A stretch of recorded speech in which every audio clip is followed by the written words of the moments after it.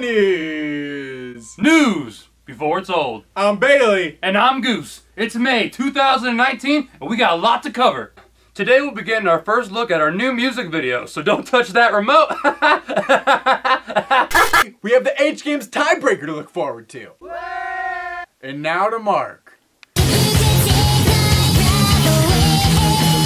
Will Jane's birthday was May 2nd. Everybody make sure to give him plenty of birthday spanking this month.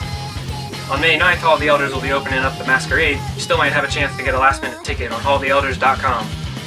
The band will also be participating in another Tiny Home Festival, May 31st, in Nashville, Tennessee. See you there!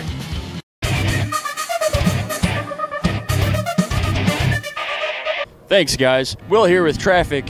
Things seem to be moving along pretty nicely here on the ocean, taking a ferry across.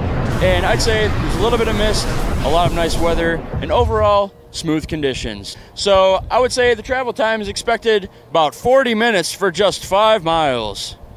Guess how many fingers I have? Back to you. And now we take our first look at the new Hall of the Elders music video.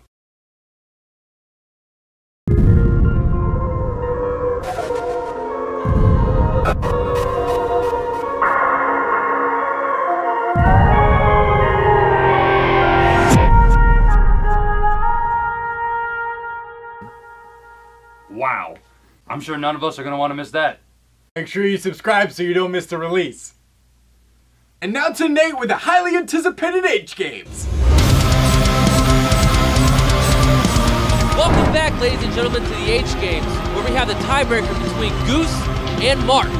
If you haven't watched last month's episode yet, I would advise you to go back and watch it right now. We're about to witness a tiebreaker between these two athletes.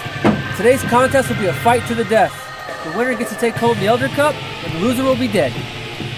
Mark is the underdog in this fight, but he's never died, so we'll see who takes home the cup. Goose is the returning champ in the H Games Cup. He's the crowd favorite. He's also really tall. And here we go for the title of the H Games Cup. I'm gonna grind your bones to dust, and I'm gonna use that dust to season my homemade chili recipe. This is fake, right?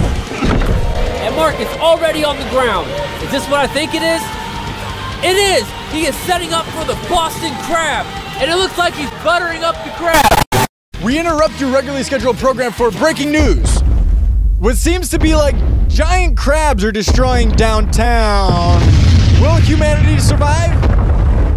Who cares? Back to wrestling. And it looks like Goose is gonna square up with the chair, but Mark has a gun! Mamma mia! This is unbelievable! Oh my god! The cameraman's been shot! Someone call an ambulance!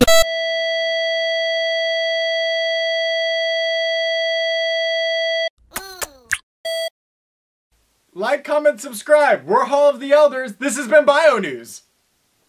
News. Now it's all. Shit!